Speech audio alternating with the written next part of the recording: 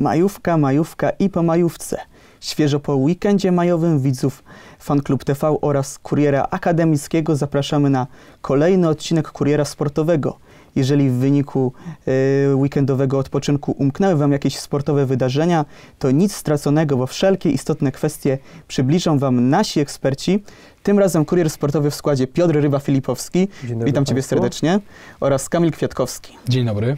A prowadzę ja, Szymon Mańkowski. I słuchajcie panowie, bez większego przedłużania przejdziemy sobie do pierwszego tematu, bo parę tych tematów dzisiaj mamy. Zaczniemy sobie tradycyjnie, jak to u nas bywa, od tenisa.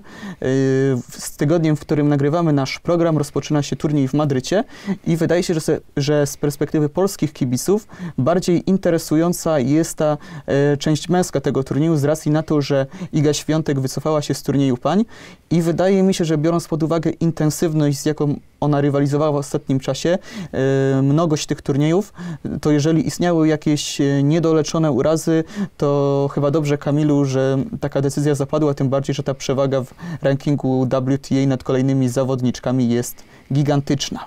Tak, y, przewaga jest ogromna. To była bardzo racjonalna decyzja, żeby odpocząć po tych wygranych turniejach. Y, no, poza tym teraz nadchodzący turniej w Rzymie. Iga będzie bronić tytułu, czyli broni tysiąca punktów. A potem Roland Garo, który oczywiście zacieramy ręce na niego. Przypominamy, że Iga wygrała ten turniej dwa lata temu. No a turniej pokazuje, że panie są w bardzo słabej formie.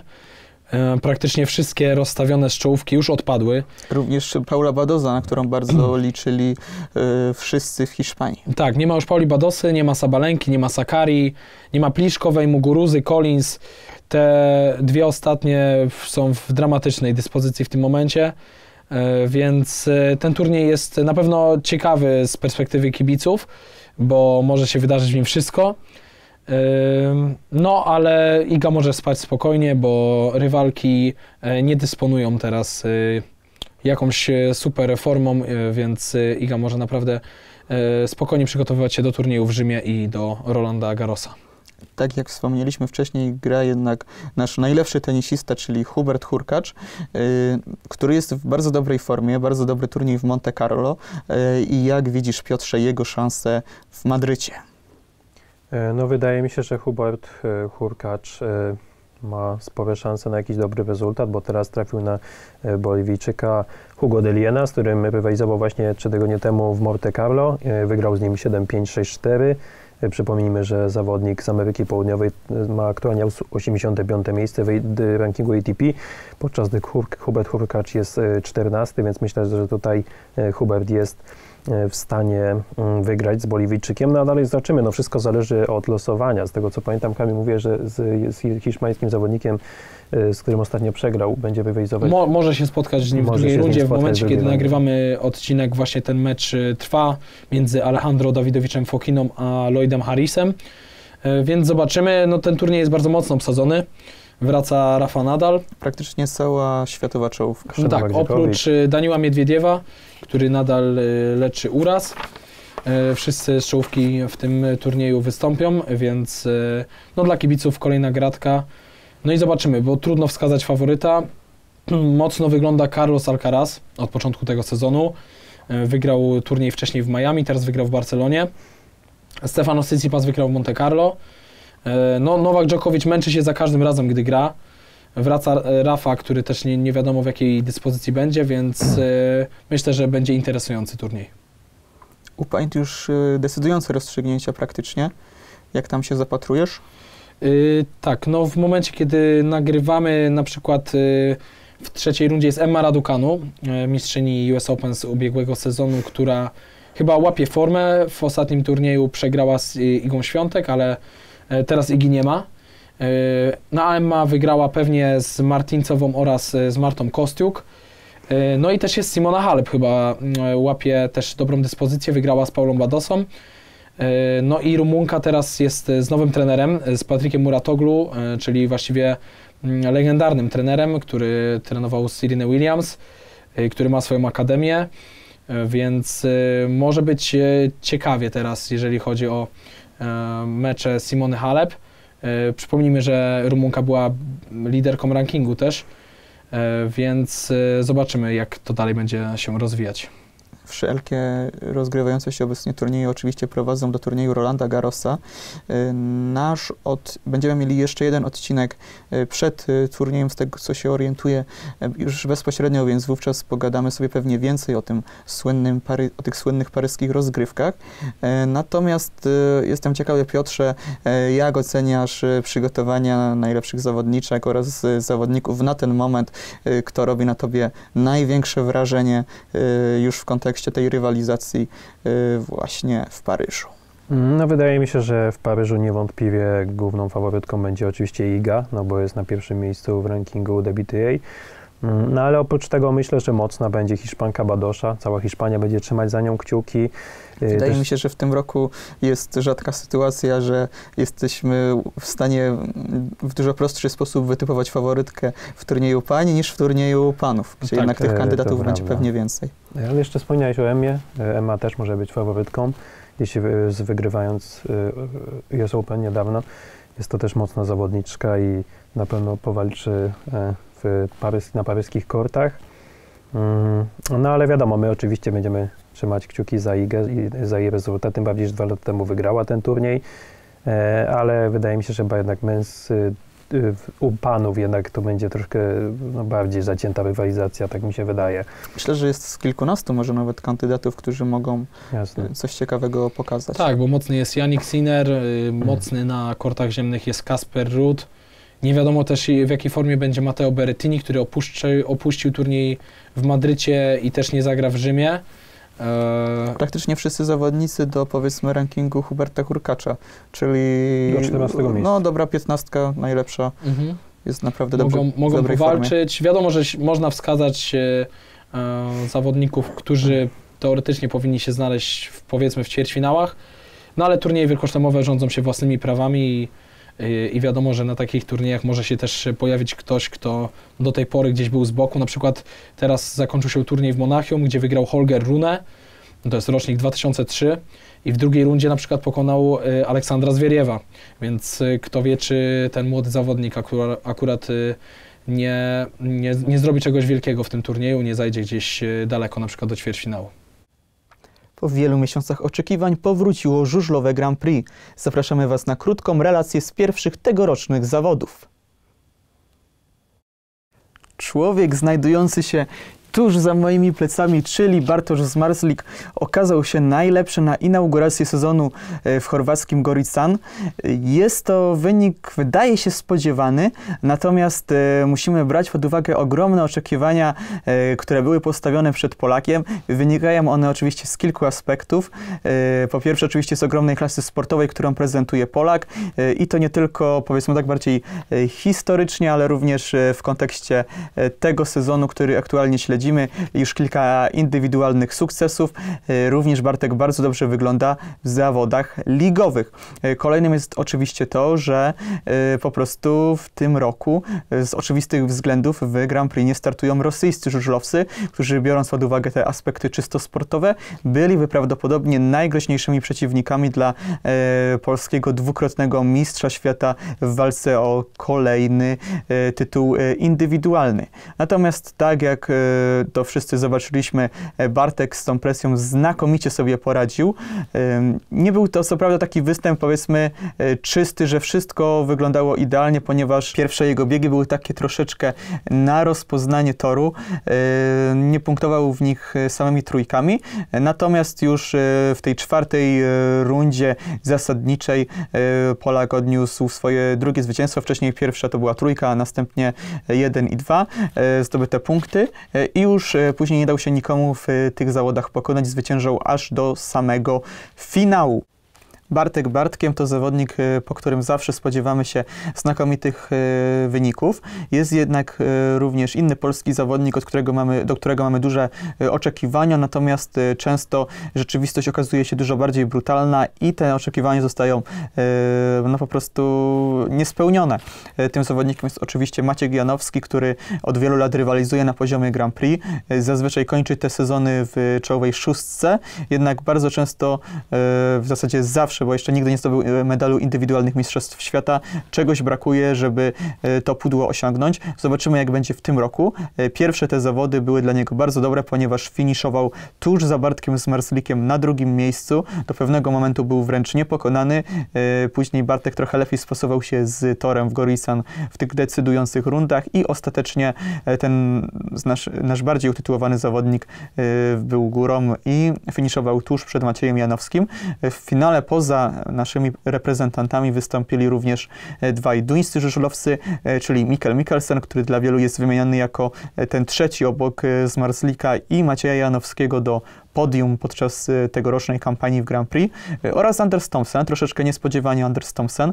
Niektórzy zastanawiali się, czy e, na pewno dobrym wyborem jest dzika karta dla niego na ten sezon, czy może nie byliby lepsi zawodnicy, którzy mogliby wnieść troszeczkę więcej do cyklu. Natomiast Anders Thompson pokazał, że jest zawodnikiem niezwykle jakościowym, potrafiącym robić te niespodzianki, bo trzeba przyznać, że jego miejsce w najlepszej czwórce to oczywiście niespodzianka niespodzianka. Jeżeli chodzi o inne niespodzianki, to może taką lekką e, było miejsce w mm, półfinałach e, Mateja Żagara jadącego z dziką kartą, natomiast musimy pamiętać, że byliśmy na Bałkanach i słoweński żużlowiec po prostu dobrze te e, regiony, te szerokości geograficzne zna i po prostu zazwyczaj się tutaj całkiem nieźle spisuje. Matej był w półfinale. Poza Matejem myślę, że in plus właśnie wymieniony wcześniej Thompson, którego jazda w finale była dużą niespodzianką. E, Jeżeli chodzi o e, zawodników, którzy wystąpili tutaj tak szczególnie in minus, to myślę, że w moim odczuciu przynajmniej był to Tai Wu Finden, czyli trzykrotny mistrz świata, który, e, który finiszował dopiero na 13 miejscu. Zdecydowanie poniżej oczekiwań, też śledząc tą rywalizację, osobiście na początku miałem takie odczucie, że Tai ma duże szanse na to, żeby znaleźć się co najmniej w półfinale, być może nawet w finale, jednak faza zasadnicza okazała się dla niego bardzo słaba. Myślę, że musimy też wspo- wspomnieć o występie pozostałych reprezentantów Polski. E, Patryk Dudek i e, Przedpełski, oni znaleźli się poza półfinałami.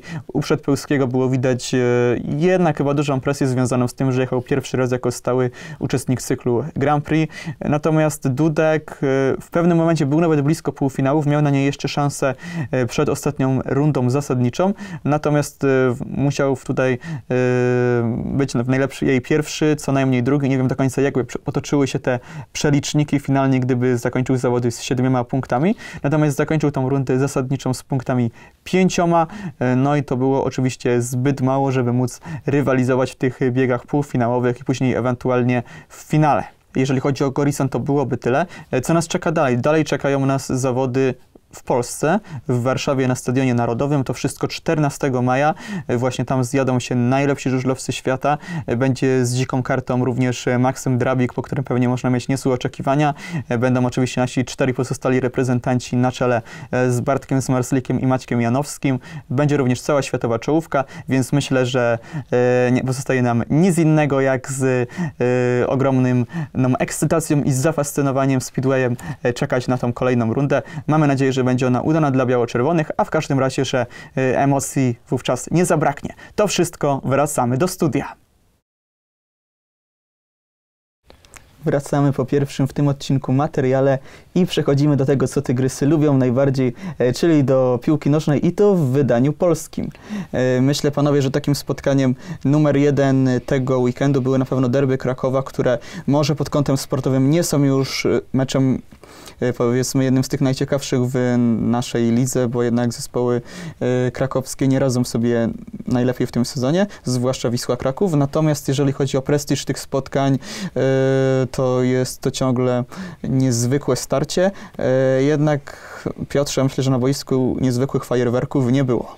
Tak, e, pierwsza połowa była zdecydowanie lepsza od e, drugiej. Generalnie ten mecz był bardzo istotny e, dla Wisły Kraków, ponieważ e, w tym samym dniu, e, chwilkę wcześniej przed e, spotkaniem z Krakowią, z ich odwiecznym rywalem, e, Bruk Bettermalika wygrało swoje spotkanie z Wisłą Płock i dogoniło właśnie Wisłę Kraków, więc e, powie, powiedzmy, że Wisła Kraków e, miała nóż na gardę w tym spotkaniu, no bo ponieważ ewentualna porażka no, mogła już naprawdę e, skomplikować im szanse w kontekście utrzymania, a i wiadomo też, że e, w drugiej części Krakowa to byłby no, powód do e, radości. Że ich y, odwieczny rywal y, jest tak uwikłany w walkę o spadek, y, w walkę utrzymania, Walkę o spadek, tak jak Franz Muda Tak, kiedyś Franz powiedział. Muda, właśnie. E, oczywiście. Niektóre drużyny grają tak, jakby im bardzo zależało. Tak jakby faktycznie To grało o znaczy, spadek. No, jeśli chodzi o górników Łęczna, to myślę, że faktycznie oni jakby, tak samo jak przed laty Franz Muda legendarny powiedział, że będą walczyć o spadek, no to w tym sezonie chyba faktycznie walczą o spadek, no bo inaczej nie można ich dyspozycji skomentować, podczas gdy Termalika przecież ona, oni walczą, tak, dwa mecze z rzędu wygrali, a głównik, no cóż.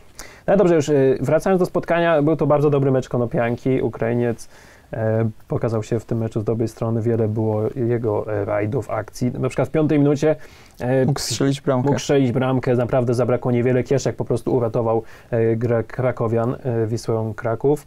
Jednak e, ogólnie ten mecz do 30 minuty wyglądał tak, że Krakowia bardzo przeważała, miała dużo sytuacji. Tak w osie- 18 minucie e, Pelewan Amersfoort e, też spudłował, w- skiksował, kiedy praktycznie była pusta bramka e, z główki.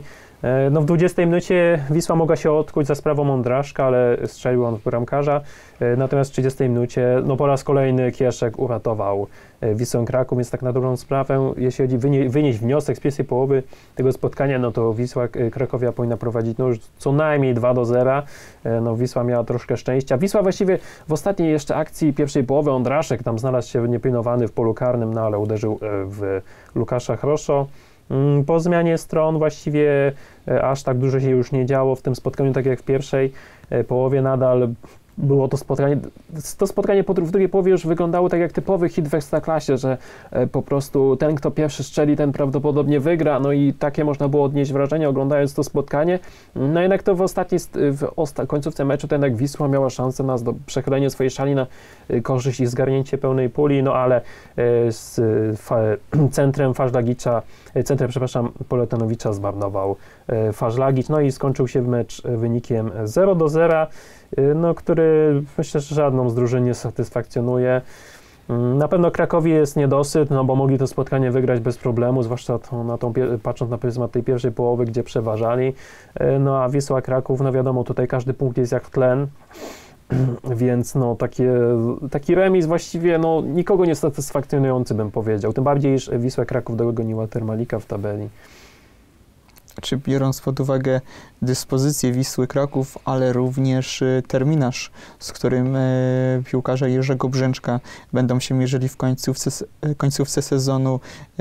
Widzisz ich wśród tych 15 drużyn, które w lidze się utrzymać mogą oraz oczywiście też dyspozycję rywali, gdzie jednak musimy wziąć pod uwagę to, że większość tych zespołów z dolnej połówki tabeli no nie czaruje. Chyba ostatnio jedną z lepiej wyglądających jest właśnie ta Termalika. Która jest y, jeszcze za plecami Wisły, natomiast y, ta cała kolejka przed, czyli Śląsk, Wrocław, y, czyli Zagłębie, Lubin, czy Jagiellonia. Jagiellonia. Jagiellonia jeszcze można iść. No też myślę, że te 36 punktów z jednej strony mają Legia Warszawa, I warto. Stal Mielec i Warta Poznań. Natomiast jeżeli te drużyny, które są za nimi w tabeli, by na przykład wygrały swoje mecze w kolejnej kolejce, to już się robi ścisk i nawet te drużyny mające po 36 punktów, no do końca spokojne być nie mogą. Znaczy, no to prawda, ale patrząc na dyspozycję drużyn, e, które walczą o utrzymanie, czyli Wisła, Zagłębie, Śląsk, tych takich powiedzmy nad kreską, e, nie wydaje mi się, żeby on, te drużyny aż tak zapunktowały, żeby drużyny, które mają 36 punktów, czyli Stal, Warta i Legia mogły się aż tak bać o utrzymanie. E, No jednak zostały trzy mecze, mają 6 punktów przewagi nad bezpieczną strefą. No jednak trzy mecze, 6 punktów przewagi, to myślę, że to jest jednak duża przewaga na tym etapie rozgrywek. Wiadomo, nie jest jeszcze pewna sytuacja, ale jest to, myślę, że już jest spory, spory bagaż, który ułatwia kwestię utrzymania. Mm, No na pewno Zagłębie i Śląsk zawodzą. To są drużyny, które ewidentnie mm, no nie pokazują nic w ostatnich, w ostatnich meczach i mają naprawdę dużo, duże szanse po prostu na spadek. Zagłębie Lubin przecież będzie grało jeszcze z Rakowem i z Lechem, czyli z dwoma kandydatami do tytułu mistrzowskiego, więc właściwie powiedzmy, że ten terminarz Zagłębia Lubin, jeszcze z Radomiakiem, no, który może w, tym, w tej rundzie aż tak nie jest jakąś mocną drużyną, ale powiedzmy, że to jest no, drużyn, no same drużyny z czołówki powiedzmy na e, kalendarzu y, Lubinian, więc tutaj Lubinianie są w niekorzystnej sytuacji. No Wisła Kraków gra jeszcze, z tego co pamiętam, z Jagiellonią, z Wartą, czy- mam- z Wartą oraz e, z drużyną, jeśli y, Kamil, pamiętasz z kim jeszcze Wisła, bo teraz zgubiłem, z Radomiakiem, przepraszam. No Wisła no nie ma aż tak napiętego kalendarza, ale patrząc jak y, podopieczni Jerzego Brzęczka się prezentują w tej rundzie, już od chyba od 8, 8 kolejek są w tej y, niebezpiecznej strefie. Mm, Myślę, że małe szanse, żeby jednak Wisła Kraków się utrzymała. No, no mają, mają, to, mają to szczęście, że Zagłębie Lubin i Śląsk Wrocław no, nie chcą iść do przodu tak jakby, bo ciągle są u nich Znaczy jakieś pewnie problemy. chcą, tylko nie mogą. Śląsk Wrocław teraz ma też problemy Ale im nie wychodzi, no tak. Wiadomo, też sytuacje z kibicami, zabrużenie pensji, zbieranie koszulek na takie, wiadomo, troszkę y, mm, kwestie takie już bardziej troszkę z zeszłej dekady. Myśl, wszyscy myśleli, że już raczej takie e, rzeczy wyszły, że tak powiem, z mentalizmu naszej ekstraklasy, no ale jak widać jeszcze to nie do końca. Na pewno bardzo, w następnej kolejce bardzo ważny mecz jest w kontekście utrzymania między Termaliką a Górnikiem Łęczna. E, No dla drużyny z Łęcznej to jest właściwie już chyba ostatni dzwonek, jeśli A jak Termalika wygra, to może ponad kreską się znaleźć. No tak, Termalika wygrywając to spotkanie może jeszcze mieć szansę na utrzymanie. Patrząc na to, w jak beznadziejnej mnie- dyspozycji jest Śląskie Zagłębie. No właśnie, według mnie najważniejszy mecz dla Zagłębia będzie teraz z Radomiakiem, no bo Tak. potem praktycznie bez szans. Y, Nie, nie, nie sądzę, żeby z Rakowem czy z Lechem urwali A chociażby może punkcik. będą rozdawać karty. Ale my tu oczywiście liczymy, żeby jednak z A mi się Rakowem- wydaje, że to właśnie Radomiak będzie rozdawać karty. karty. karty a propos utrzymania. Tak. E, Jeszcze a propos Wisły Kraków, oni tylko zanotowali jedno zwycięstwo w ostatnich 12 meczach, więc Właśnie. to jest e, fatalny wynik. E, Więc e, no ta walka może być interesująca, ale to taka wa- walka żółwi mi się wydaje. No chyba, że Termalika teraz pójdzie na takiej fali i jakimś cudem jeszcze się uratuje i to właśnie zarówno Wisła, jak i Zagłębie spadną. Tak rzutem na taśmę, nie? E, Tak jest, e, więc e, no Łęcznej już bym tutaj nie liczył. No, W kontekście- w kontekście utrzymania. W następnym meczu. Mecz bezpośredni z Termaliką to jest ich właściwie ostatnia szansa. No wiadomo, jak Górnik Łęczna się utrzyma, no to myślę, że Bartosz Śpiączka powinien mieć tam na postawiony pomnik, Pomnik, pod tak. stadionem. No ale czy tak się stanie, no to zobaczymy już e, 21 maja, bo wtedy się zakończy liga. Idziemy sobie już na sam szczyt ligowej tabeli, czyli rywalizacja między Lechem, Rakowem i Pogonią Szczecin, która w tym tygodniu akurat troszeczkę jest y, wyciszona powiedzmy przez to, że Lech i Raków y, rywalizują w finale Pucharu Polski. Natomiast biorąc pod uwagę to, co zostało i też to, że Pogoń traci do tych drużyn już te trzy punkciki, jak to się może skończyć, bo y, wielu uważa, że może być tak, że Lech i Raków po prostu będą wygrywać wszystko do końca sezonu. No i wiadomo, że przy takim układzie to zespół z Częstochowy y, zostaje mistrzem Polski i wydaje mi się, że zespół z Częstochowy, jeżeli chodzi o tą rundę wiosenną, jest najlepiej dysponowanym klubem, bo Lechowi jednak trochę brakuje i chyba poznaniacy trochę na własne życzenie y, ten tytuł na stulecie mogą stracić. No Lech tracił głupio punkty, na przykład z Górnikiem Z Wisłą Łęczna, Kraków. z Wisłą Kraków, więc y, szkoda na pewno. Y, szkoda tego meczu też Pogoni z Rakowem. Ja tam liczyłem na remis Mhm, albo na zwycięstwo Pogoni, tak się jednak nie stało. No, Raków ma do końca Krakowie, Zagłębie i Lechie, a Lech, Piasta, Wartę i Zagłębie, więc e, teoretycznie Zagłębie może rozdawać karty, No ale wiemy w jakiej formie są Lubinianie, mówiliśmy o tym. E, Pytanie też właśnie, czy Lechia nie będzie musiała jeszcze walczyć o te puchary i e, bardzo się spiąć na tą ostatnią kolejkę. Zobaczymy, trudno wróżyć w tym momencie.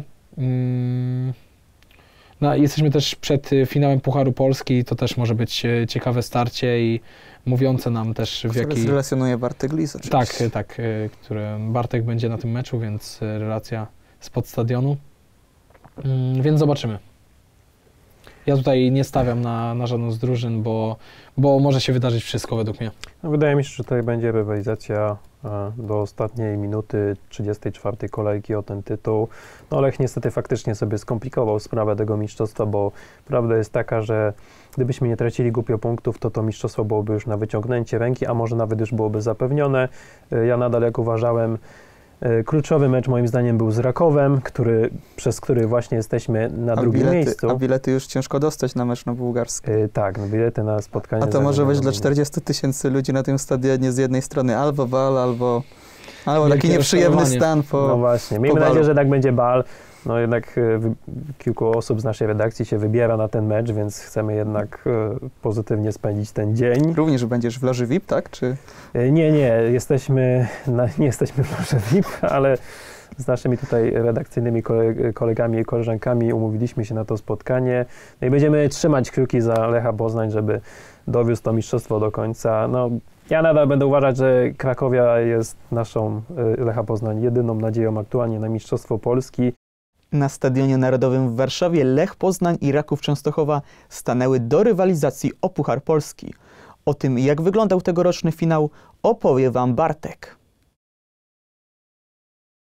Za nami już finał Pucharu Polski, zatem e, losy jednego z dwóch trofeów, które są do zdobycia e, w maju zostały rozstrzygnięte. Raków Częstochowa powtórzył swój sukces sprzed roku i obronił ten tytuł. E, zgodnie z hasłem Rakowa e, odnośnie tegorocznego Pucharu Polski, e, jakim był hashtag wracamy po swoje, faktycznie wrócili po swoje, wygrali drugi raz z rzędu to trofeum.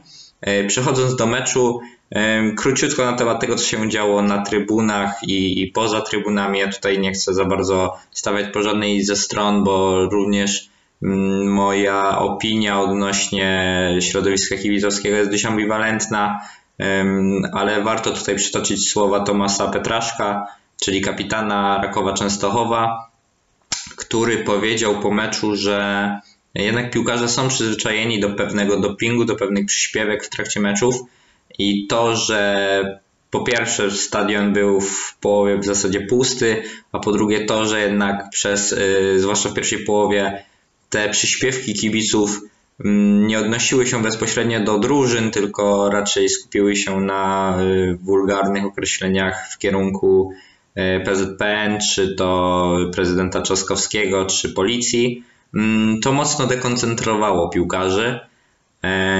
Także na pewno trzeba wziąć to pod uwagę, że, że ta cała otoczka, to co się działo poza boiskiem, z pewnością miało również wpływ na to, co się działo na boisku, ale właśnie najważniejsze się działo na boisku.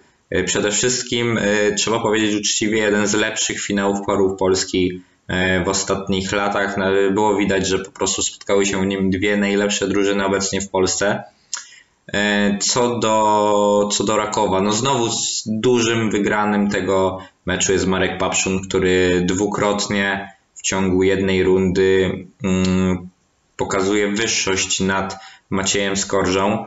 E, Ja przed meczem e, czytałem wywiad z trenerem Maciejem Kędziorkiem, czyli e, niegdysiejszym e, asystentem Marka Papszuna, obecnie asystentem Macieja Skorży. On powiedział, że Raków jest wdzięczną drużyną do analizowania przez rywali, bo jest e, bardzo przewidywalną drużyną. Raków gra zazwyczaj, w, czy zawsze w zasadzie mm, w podobny sposób, ale w tej swojej, ale w tym byciu przewidywalnym doszli do perfekcji i, i i to wcale nie jest y, tak łatwo przeciwko nim grać, mimo że drużyna przeciwna wie, co będzie Raków grał.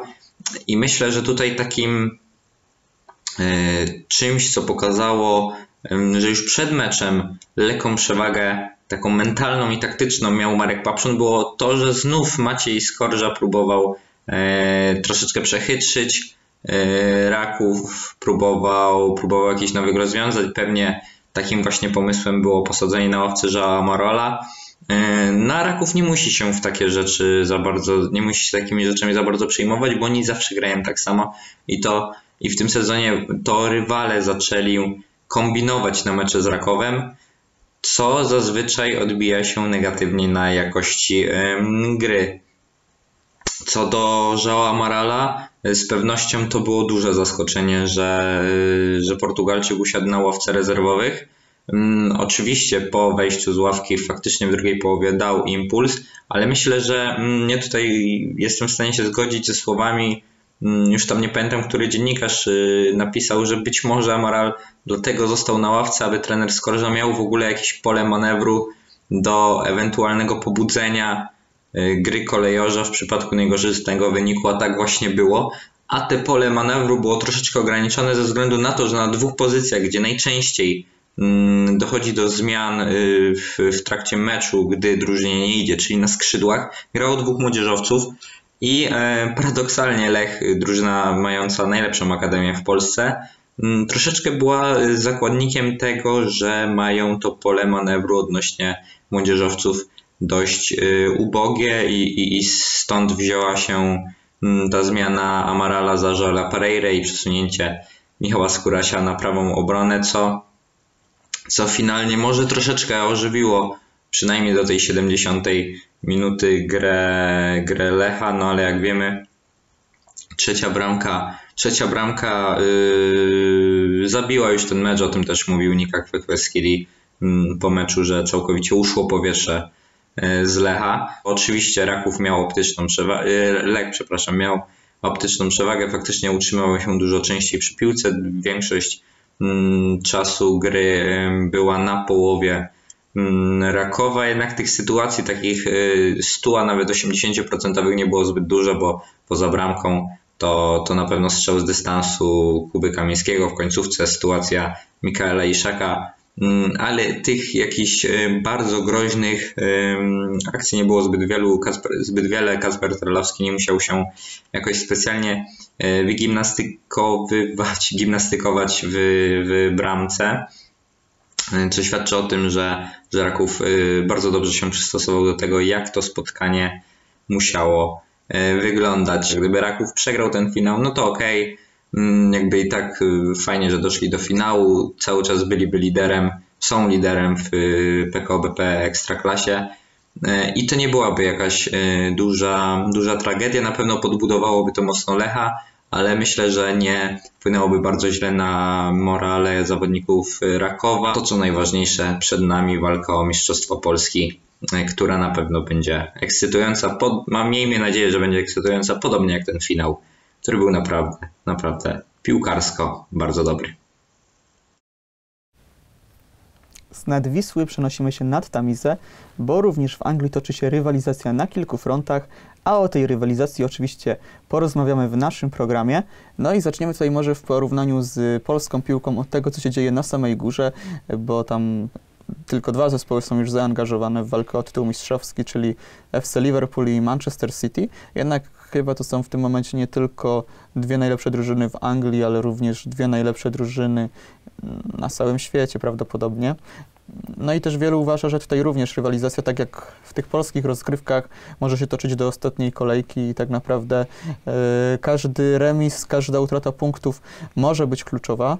Może zacznijmy sobie od dyspozycji Liverpoolu, który y, miał bardzo ciężkie zadanie, bo grał z Newcastle, y, czyli też biorąc statystyki pod uwagę, Liverpool i Newcastle to są dwie najlepiej punktujące drużyny w tej rundzie rewanżowej w angielskiej Premier League i nie był to łatwy mecz dla The Reds, był to mecz zwycięski, natomiast no, trzeba było troszkę y, zdrowia w tą rywalizację włożyć, żeby pokonać podopiecznych Ediego Hała, który robi znakomitą robotę na St. James's Park. Tak, 1-0, y, skromne zwycięstwo. Mm, na przykład Mohamed Salah rozpoczął spotkanie na ławce, no ale po sprowadzeniu Luisa Diaza... Tak, ma możliwości rotacyjne trener Jurgen Klopp. Tak, dokładnie. Możliwości w ataku się zwiększyły po tym okienku transferowym. Y, jednak przewaga Liverpoolu była widoczna w tym meczu. Y, oczywiście Newcastle miało swoje szanse, nawet y, strzeliło bramkę, ale był tam spalony, słusznie odgwizdany. Znakomita akcja na biegu Kate przy tej bramce. Y, fantastyczne, fantastyczna współpraca z Diogo Jotą i świetna bramka. Jurgen Klopp widać było, jak z niego zeszło ciśnienie po tym końcowym gwizdku, czyli widać było, że się stresował tym spotkaniem bo faktycznie Newcastle świetnie punktuje i z tej strefy zagrożenia weszli już do dziesiątki i są na dziewiątym miejscu e, i grają bardzo dobrze w, tym, e, w tej rundzie rewanżowej.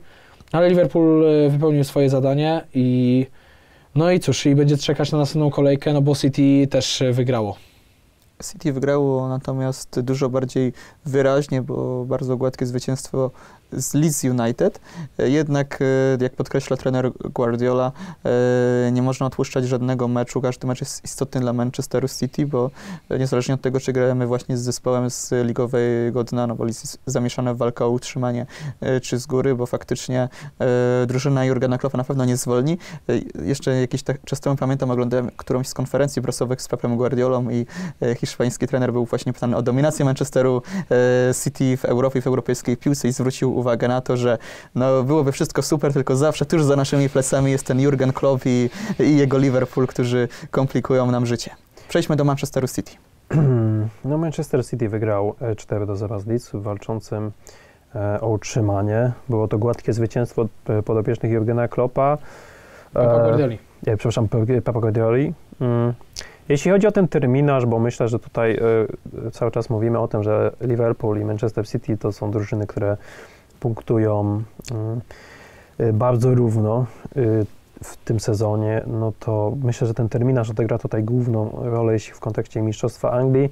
No nie możemy zapomnieć, że Liverpool ma jeszcze na rozkładzie mecz z Tottenhamem. E, gr- Gracz, podopie, gracze z Londynu nadal walczą o Ligę Mistrzów, więc myślę, że to może być kluczowy mecz w kontekście mistrzostwa i e, ewentualna strata punktów drużyny e, podopiecznych Jurgena Kloppa w tym spotkaniu może już definitywnie chyba rozwiać losy mm, tego mistrzostwa, ponieważ Manchester City, o ile mnie pamięć nie myli, już e, aż tak wymagających rywali na swoim rozkładzie nie ma. No jest nieobliczalny West Ham, ale Tak, z też Łukaszem Fabiańskim w ramce. to jest z obniżyli tego, co dobrze kojarzę, West Ham, Wolves. Tak, E, Aston Villa, ale Newcastle teraz jeszcze- najbliższy mecz właśnie z Newcastle. Mhm.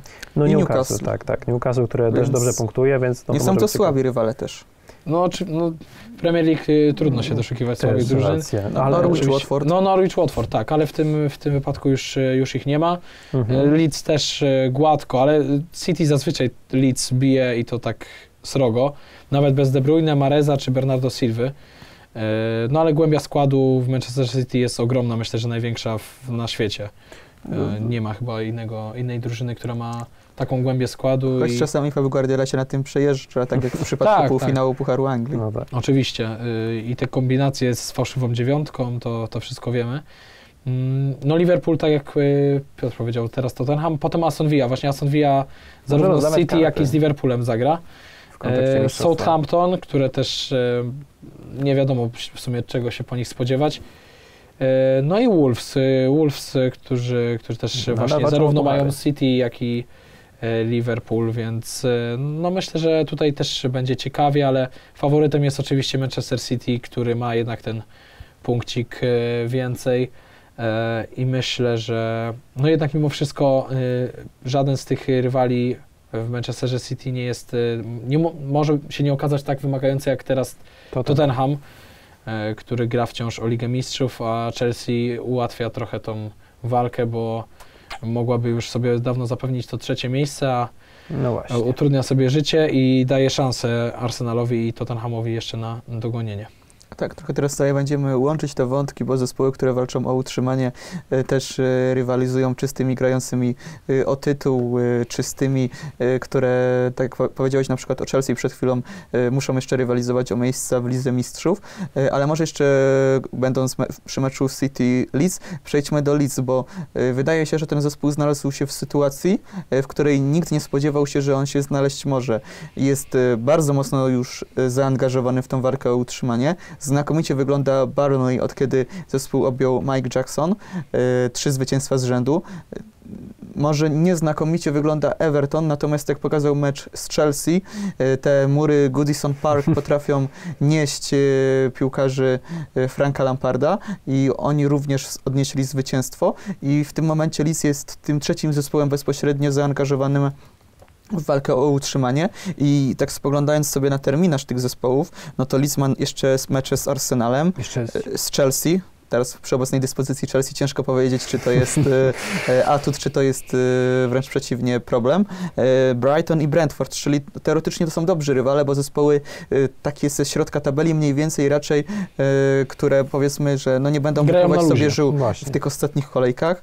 Y, y, Burnley mierzy się dwukrotnie z Aston Villą, czyli z zespołem, który nie wygląda naj- najlepiej w ostatnich tygodniach. Newcastle, czyli jest to wymagający przeciwnik oraz Tottenham, czyli kalendarz taki średni, no ale też musimy musimy brać pod uwagę, że drużyna Mike'a Jacksona jest naprawdę w dobrej formie i y, punktuje znakomicie.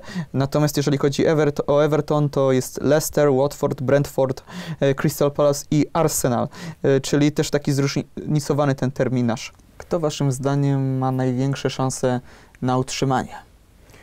Y, Wydaje mi się, że Everton z tej trójki, którą wymieniliśmy, Everton, Leeds, Barney ma największe szanse na utrzymanie, ponieważ e, mają dwie, dwa punkty straty do bezpiecznego miejsca, ale należy zaznaczyć, że mają jeszcze jeden mecz rozegrany mniej niż gracze, niż Pawie czy gracze e, Burnley, więc to też e, może mieć duże znaczenie w kontekście utrzymania i wydaje mi się, że też terminarz, na przykład w porównaniu do Leeds, e, drużyna e, Franka Lamparda nie ma aż tak napięty. Gracze Evertonu będą rywalizować, tak jak wspomniałeś, z Watford, Watford który już praktycznie spadł tak samo jak Norwich, Brentford, czyli też drużyna e, z drugiej części tabeli. No jasne, oczywiście jest spotkanie z Arsenalem, ale jest jeszcze mecz z, dru- z drużyną Crystal Palace, która już raczej nie walczy o nic.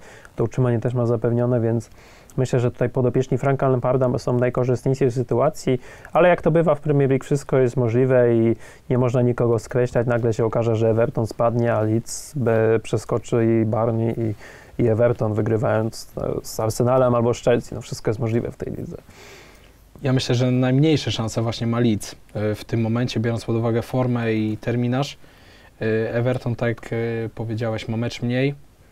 No poza tym mają ekipę, żeby nawet jakąś jedną akcją Richarlisona sobie zapewnić punkt, czy nawet zwycięstwo, tak jak było y, z Chelsea. No tak, a Spilicueta zawiódł konkretnie w tej sytuacji. No tak, a, a z kolei Pickford po, jeszcze mm, popisał się fantastycznymi, fantastycznymi e, paradami, więc y, może być tak, że Leeds, które już się wydawało, że się odsuwa od tej strefy spadkowej, że już jest na bezpiecznym miejscu, to jednak e, pożegna się z Premier League. Tym razem do tematu Serie A wejdziemy nie z naszego studia telewizyjnego, tylko z samego San Siro. Na spotkaniu Rossoneri był nasz reporter Błażej, e, który przedstawi Wam krótkiego vloga e, opisującego jego odczucia z tego wyjazdu. Zapraszamy. Dzień dobry, dobry wieczór. Za moimi plecami jest jeszcze San Siro. Miałem okazję obejrzeć mecz Milan-Fiorentina na żywo muszę Wam powiedzieć, że ogromnych kontrastów. W całym meczu było widać, że to Milan przeważa, coraz częściej sobie kreował sytuację pod e, bramką Violi, ale brakowało tego wykończenia. No, a przy wykończeniu przyszło w około 80 minucie, kiedy gola strzelił, jak się okazało, jedynego Rafael Leao, jak, jakim ważnym może to być, e, jaką ważną może to być bramka e, w kontekście walki o mistrzostwo. Cały czas Milan ma przewagę nad Interem, który e, w fatalnym stylu przegrał w środku e, tygodnia, e, jeśli się nie mylę, z Sassuolo. Nie znam jeszcze wyniku e, meczu weekendowego, bo e, grają za kilkadziesiąt minut dla mnie. Wy zapewne mm, wiecie, jak ten mecz się zakończył e, i jaką przewagę ma Milan nad Interem. Mm, No ale co, co tutaj powiedzieć e, o Milanie i sytuacji tabeli, w tabeli dla nich. W weekend gra, w tygodniu grają z Hellasem Verona. E, w- tygodniu grają z Hellasem e, Verona. Na koniec e, czeka ich, e, czekają ich jed- dwa trudne spotkania. Jedno z Atalantą Bergamo, drugie z e, Sassuolo i myślę, że te, dwa spotkania będą kluczowe, e, jeżeli chodzi o układ sił w końcu e, tabeli. Ten terminarz, e, przynajmniej teoretycznie, e, Inter ma łatwiejszy, ale jak widać e, w tym ostatnim e, spotkaniu, który przegrał, e, wszystko jest e, nadal w grze. No i co? Milan cały czas unosi się na powierzchni wody. Ciao.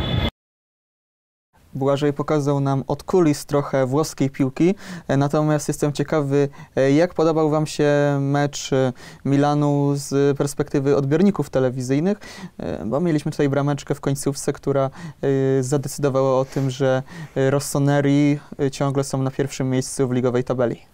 Tak, y, Milan miał swoje szanse, dogodne okazje marnowali Francuzi, bo Theo Hernandez oraz Olivier Giroud. Y, No ale Fiorentina y, też miała na samym początku dogodną sposobność do zdobycia bramki, bo groźnym strzałem po rzucie rożnym popisał się Igor.